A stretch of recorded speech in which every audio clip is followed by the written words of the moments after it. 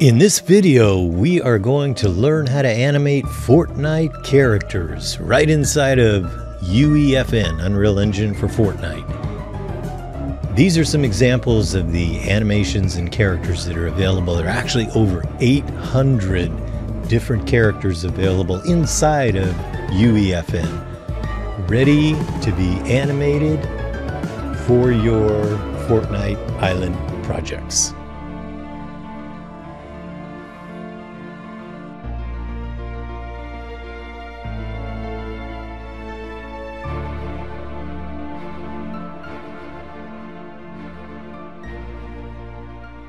The first thing we want to do is open up UEFN and come to the feature examples and we're going to look for the project called animation right here.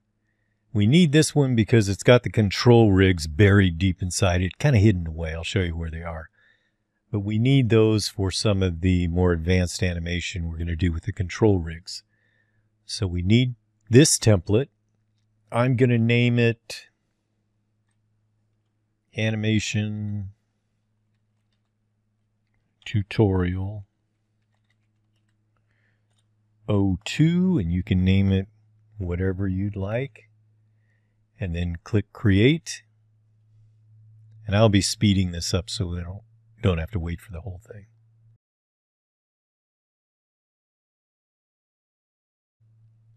Okay, now we have our UEFN project opened up for us.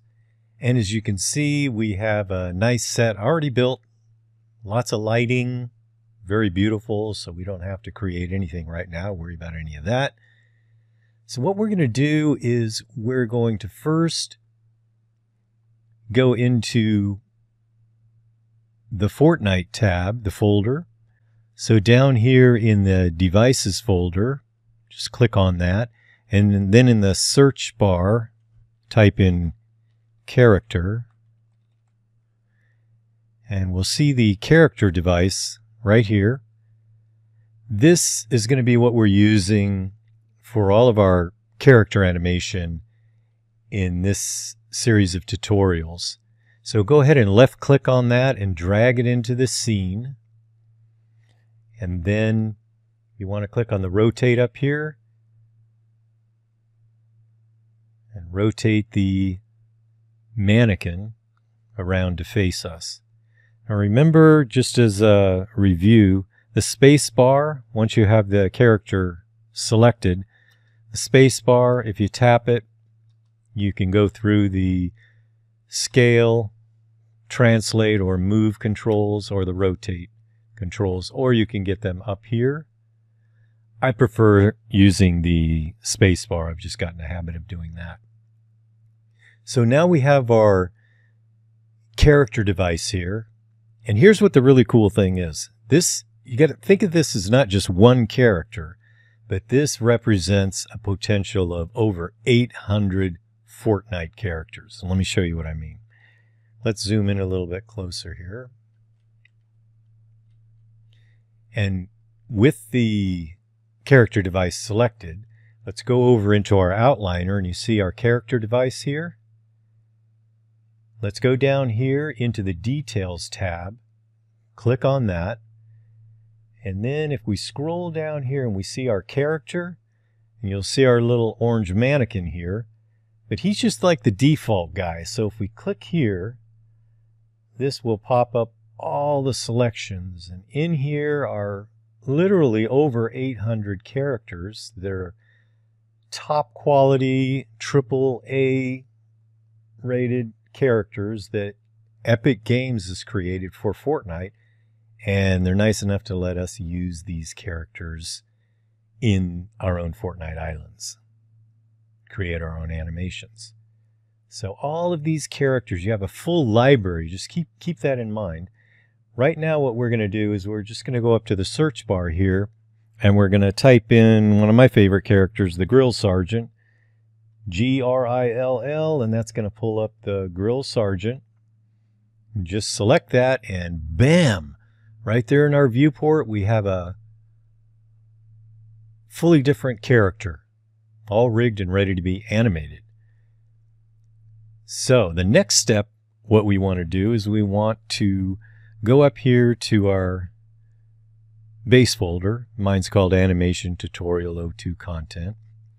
Get rid of the character in the search bar here. And we want to right click here and do a new folder. Call it Cinematics. Oops. Cinematics is where we're going to keep all of our animation or our level sequences, our our uh, timelines.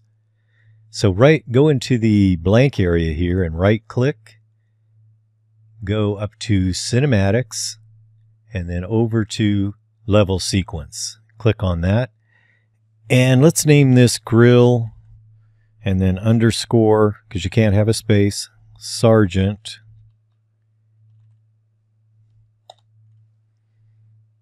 and then go up here to save all. It's good to save at this time. And there we go. So now we have our level sequence, which is going to be our animation timeline. So let's go ahead and go over here and left click on it, double click, and it's going to put this here. Now sometimes it'll be up here somewhere like that. I don't like it taking up so much space. So if you just click on it with your left mouse button, you can put the tab right there. That way you have your content browser here and your sequencer here. Just a little handy, um, handy hint there.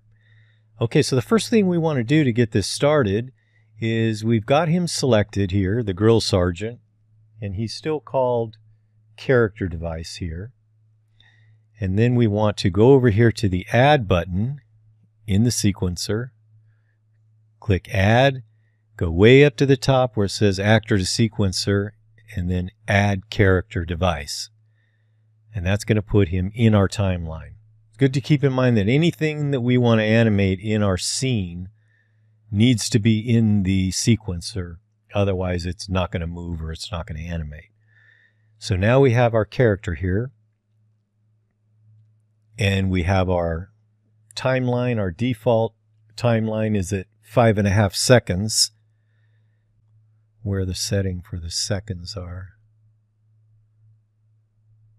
There it is right there. We've got 30 frames per second and we show time as seconds, or you can do it as frames. I prefer seconds because it gives me a better idea of how long the animation is. So this is five and a half seconds, not going to be long enough for what we want to do. So Let's click on this down here in the right corner and let's change this to 25 seconds. Hit return and that just expanded our timeline out. Now this red ending mark, let's go ahead and drag that out to the end. Now we have a larger timeline to work with. So we have our character in here, our character device. We want to go over here and click the plus button. We want to go up to animation, and then let's choose one of these that are showing. Let's choose the banana. Okay, so now our character has ha has the existing animation that's in UEFN called Emote Banana. And if we click play down here, we see our animation playing perfectly.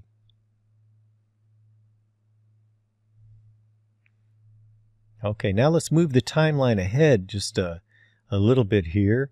And let's add a different animation. So let's go down to the animation track here where it has the plus. Click plus.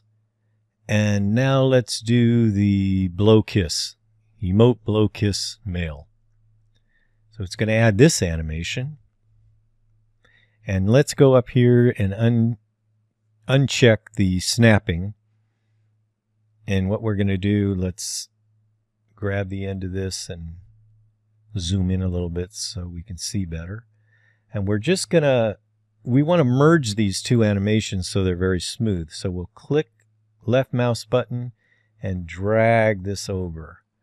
And if you see here, this is where the two animations are going to blend auto automatically. And you can adjust that by just however much you overlap the two clips. And now he's going into the blow kiss animation. And then he stops there. Let's add another one here. Let's do the emote burpee. So now he's going to jump down and he's going to do a burpee. And we need to overlap this again as well too, just just a little bit. That's all it needs. And then he'll smoothly go into the next animation here. Okay, so he does that a couple times, and now we have a little bit more space here. Let's go ahead and put the emote ballet jumps in here. Those are kind of funny. And overlap that click a little bit, clip a little bit. So he just jumps up and goes right into the ballet pirouetting or whatever that's called. And then as a last one, let's go ahead and put in call me. So now Jonesy's going to be saying, call me. Well, let's get this one butt up in a little bit of an overlap. So we're almost to the end. You can see you can just keep adding clip after clip after clip and it's going to blend in very naturally. So let me back this up. If I, if I click the snapping again, I'll be able to snap this right to the end. And let's unzoom again by dragging this. Left click drag. Let's go back to the beginning of the animation. And let's press play or hit the space bar.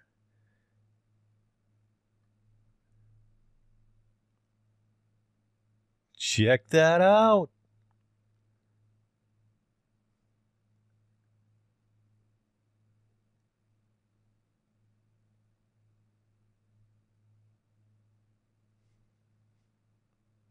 Pretty cool, huh? Give yourself a big pat on the back because what you've just done is a major, major accomplishment. We're going to get into a lot more in detail later on about how to add music, dialogue, sound effects, how to add the control rig for the body and the face, and add facial and body animations. But this is going to get us started right here. Good job.